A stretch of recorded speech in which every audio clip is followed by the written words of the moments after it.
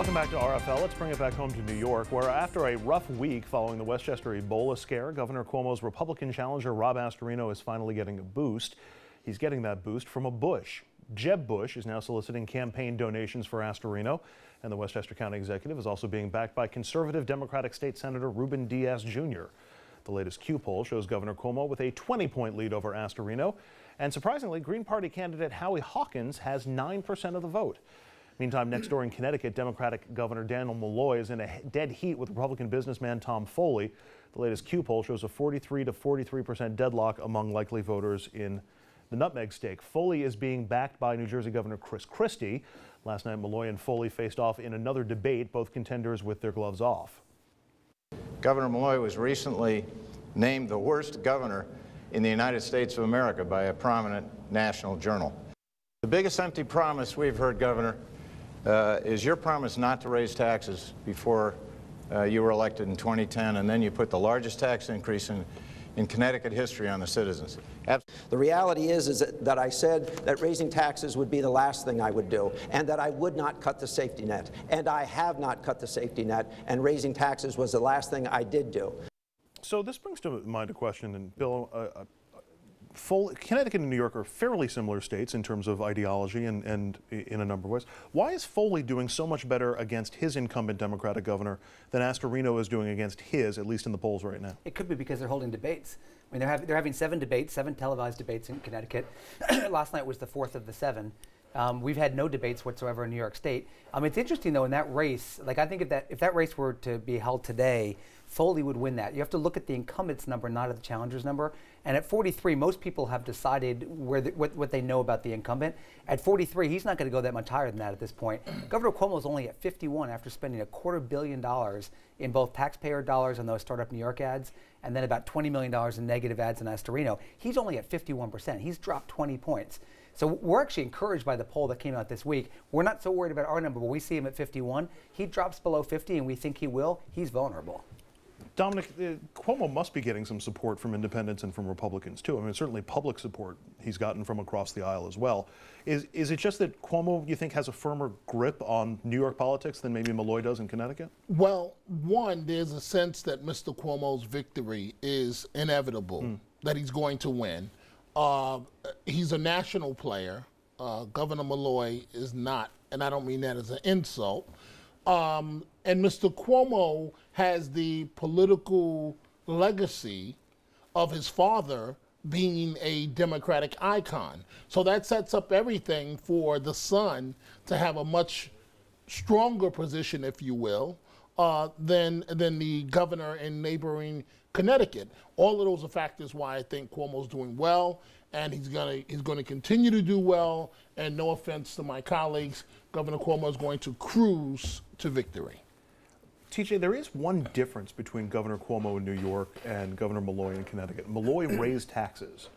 Cuomo, uh, to the you know, to, to, the anger of a lot on the on the progressive left, has not. He did, especially especially not upper end taxes. He, Cuomo did raise taxes. He did. He, he broke his pledge to raise taxes. He rejected yeah. the millionaires tax. Which taxes are you referring to? Because he, he, put a tax cap in as well. No, he did. The, he actually did the millionaires tax. The millionaires tax. He did the 250 and over. Yeah, and it was and it was meant to expire. Which is not millionaires. It's 250 thousand dollars, by the way. Yeah, yeah, yeah, and yeah. The, the, millionaire was just a catchy thing to get it through in the first place, and it was supposed to be temporary, but it's been made for the most part permanent. It's, it's back in. It's back again. For it was just passed into the last. Uh, budget. So it's it's still there. New York's a very interesting place where in, in the city people want to raise the rent regulations mm -hmm. so mm-hmm. that you can make two hundred and fifty thousand dollars and be poor enough to have a rent stabilized apartment. But once you make two hundred fifty thousand and one dollars, you're considered a millionaire.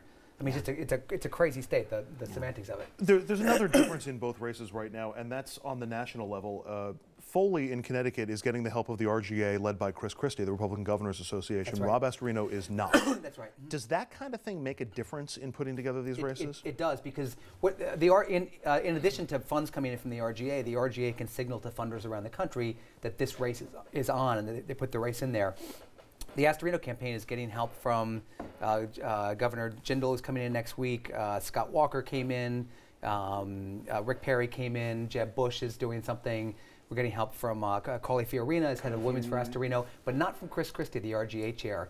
Um, we've had some speculation about what that's about. Um, we're, we're, a little bit uh, suspicious on that front.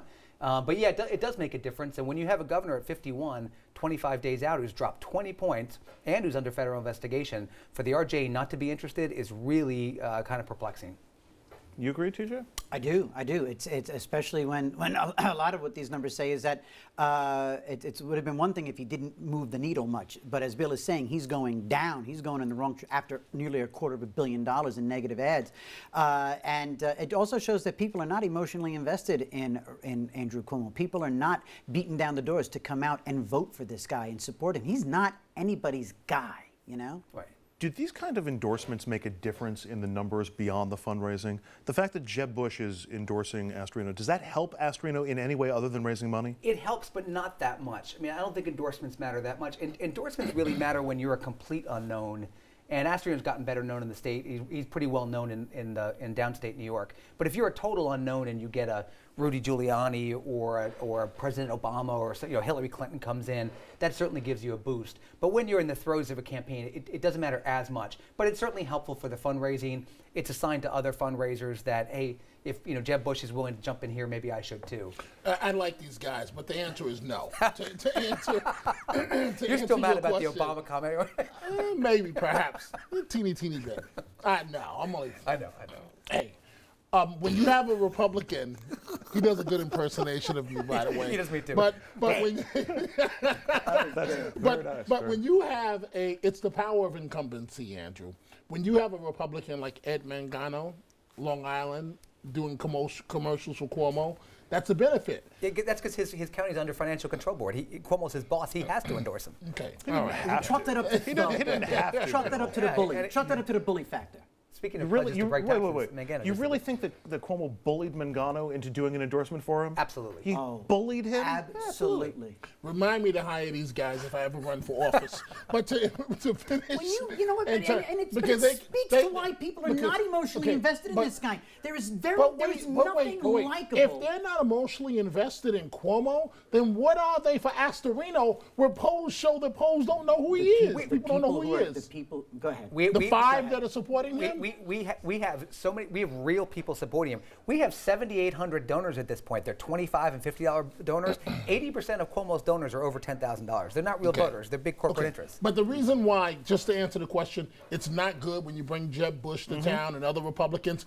In this state, in New York State and Democratic blue New York, it's yet another reminder that Mr. Astorino is not a Democrat and that he's a Republican. So it's counteractive. He needs the money, so he's got to do it, and I, I understand that. But it's another reminder that he is a Republican and it works against them. People want principled leaders. People, you have, you have a certain segment of the vote that is just Democrat or just Republican, but the overall, the average person wants a principled leader that stands for something. And they'll take a Republican who's a conservative Republican and a, and a firm one that stands by his guns. They'll take that. We'll get crossover Democrats what, and independents. One final the, the, crossover endorsements, Mangano endorsing uh, uh, Cuomo or Diaz uh, endorsing Astorino, do they matter?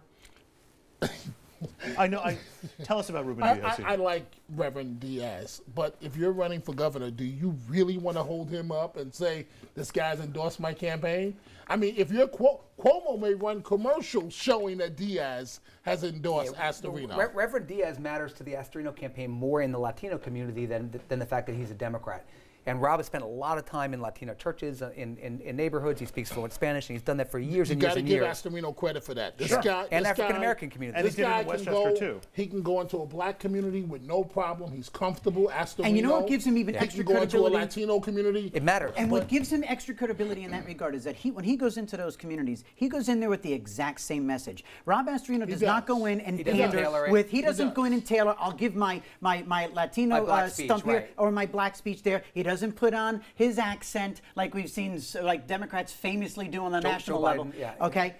Rob Astorino goes in with the same message. There is no condescension and no pandering, and that alone makes him a better, more credible as man. As I said, than, Andrew, he will be governor perhaps one day, but he's got to get that 800-pound gorilla called Andrew Cuomo out of the way first. 25 we, days. We shall see. We shall see. Up next, a court strikes down one of the toughest voter ID laws in the nation just ahead of the midterm elections. So will that move send a message to other states across the country?